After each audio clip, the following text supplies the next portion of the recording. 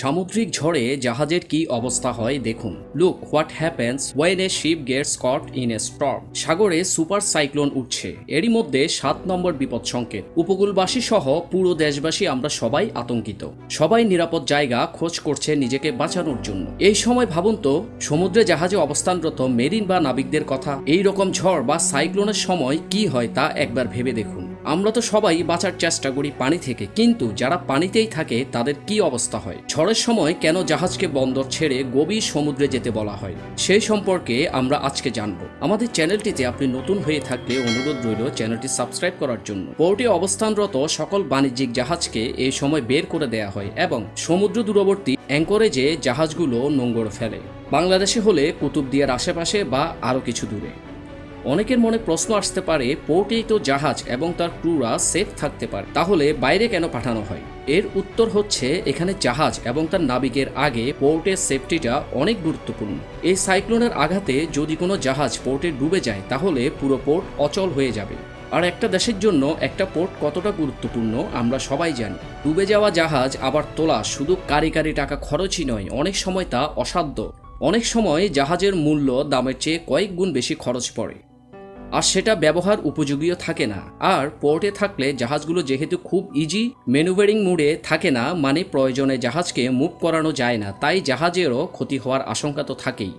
তবে পোর্টের সেফটিটাই এখানে মুখ্য কারণ। এখন মনে প্রশ্ন আসতে পারে, নাবিকরা কেন জীবনের ঝুঁকি নিয়ে এই সময় আবার সাগরে ব্যাক করবে? জীবনের ঝুঁকি নিয়ে তারা সাগরে ফিরতে নাই চাইতে পারে। আসলে এটাই তাদের চাকরির মেন রেসপন্সিবিলিটি আপনি আপনার দায়িত্বকে অস্বীকার করতে পারবেন না। তাই যখন সবাই নিরাপদ আশ্রয় খুঁজছে, তখন নাবিক তার জাহাজকে বাঁচানোর জন্য পোর্টের অদূরে, অ্যাঙ্করেজ এলাকায় নোঙ্গর করে অপেক্ষা করবে।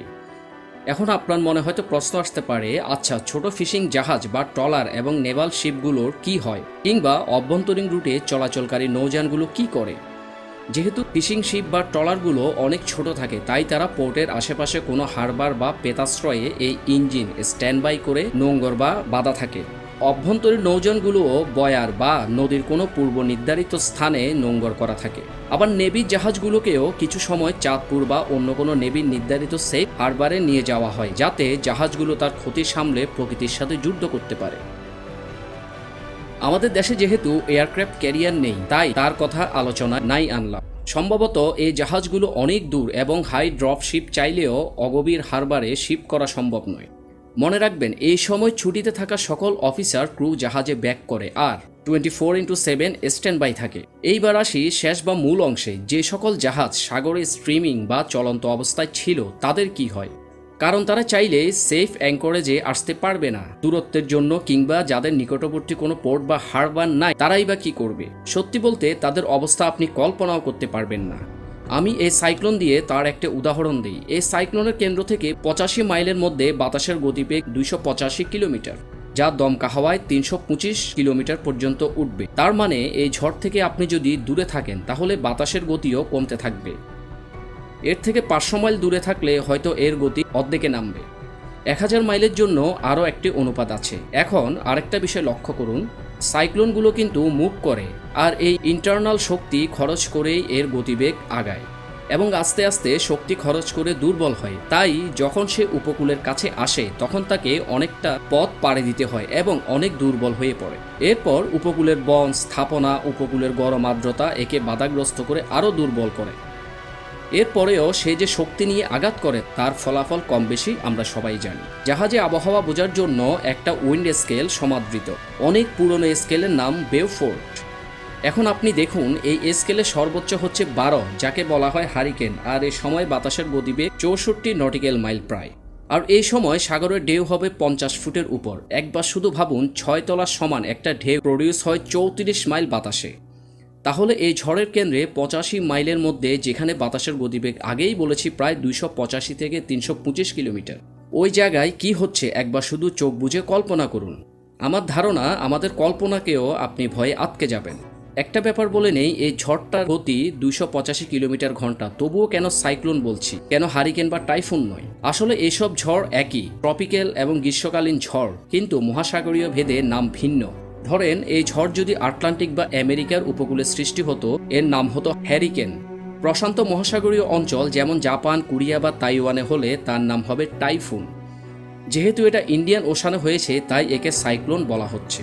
সাগরে যে জাহাজগুলো চলাচলরত অবস্থায় আছে, তারা তাদের রুট প্ল্যানিংয়ের সময় এই একই সাইক্লোনের কিছু পূর্বাভাস আধুনিক পেয়ে মেট্রোলজিক্যাল সংস্থা থেকে বেতার বার্তা পায়।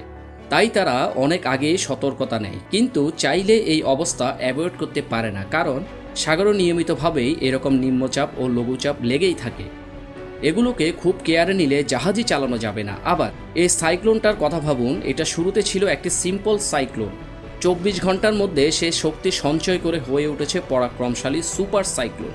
প্রকৃতি তার ইচ্ছামতো প্রতিনিয়ত তার রূপ চেঞ্জ করে, যা আধুনিক মেট্রোলজিক্যাল ডিপার্টমেন্টের পক্ষেও এত স্যাটেলাইট ব্যবহার করে সময়মতো পূর্বাভাস দেয়া অসম্ভব।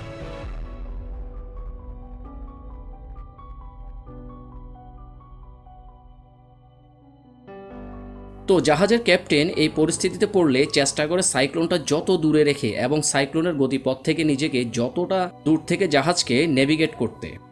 মনে রাখবেন, এরপরেও তাকে যে ফেস করতে হয় তা দূরবর্তী উপকূলীয় সাগরে নোঙ্গর করা জাহাজ থেকে কয়েক গুণ বেশি।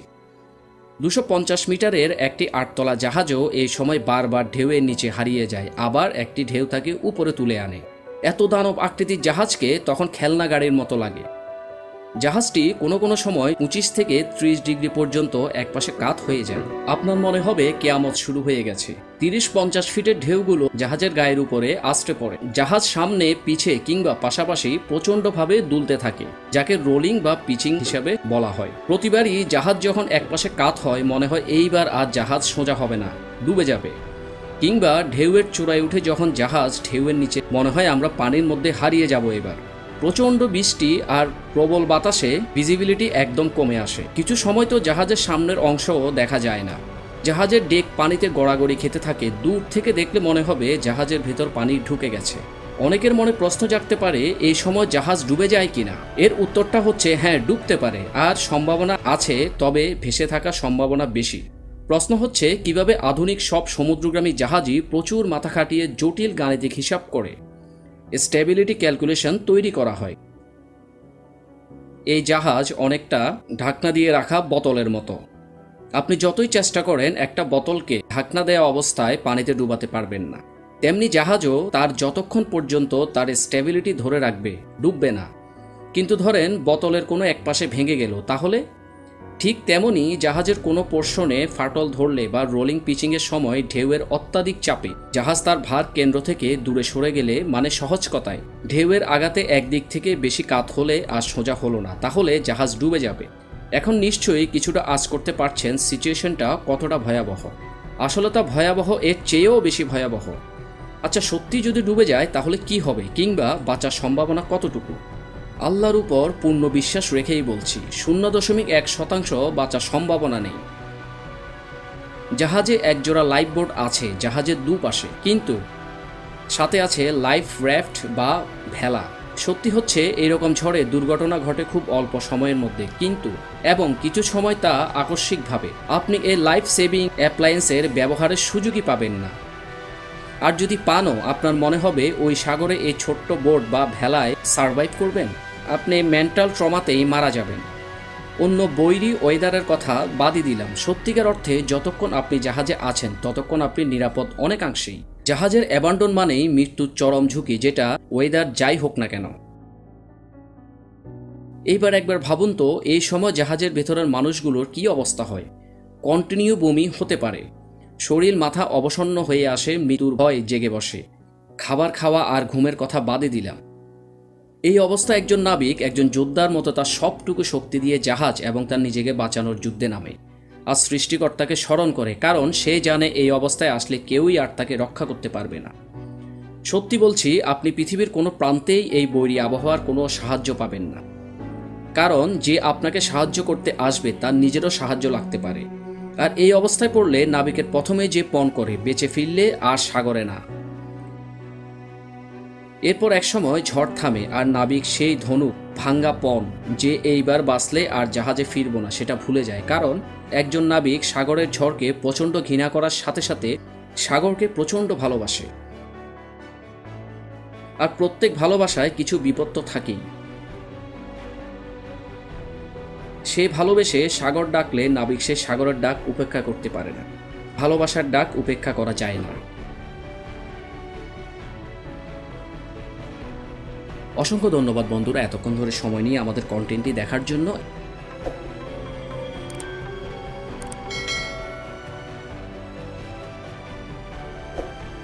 এ ধরনের আরও গুরুত্বপূর্ণ অনেক কন্টেন্ট আমাদের চ্যানেলে দেয়া আছে, আপনার সময় থাকলে দেখে আসতে পারেন। ধন্যবাদ।